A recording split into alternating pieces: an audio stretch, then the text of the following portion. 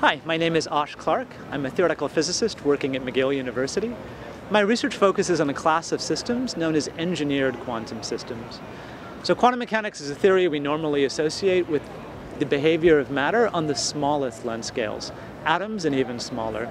It leads to a number of bizarre and strange predictions. A particle can be in two different places at the same time. A particle can teleport from one spot to another. So my research is interested in seeing if we can see these effects in systems much bigger than a single atom, systems with tens of billions of atoms in them. Typically these systems are small electronic circuits.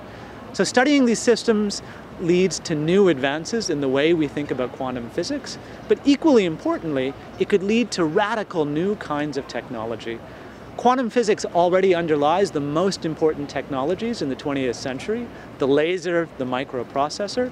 If we really understood how to harness the weirdness of quantum mechanics, a new kind of technological revolution should be possible.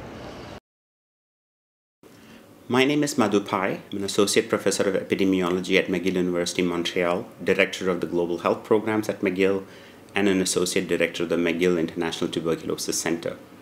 I've chosen to focus on tuberculosis in my research career, and tuberculosis continues to be an important infectious disease, infecting nearly a third of the world's population.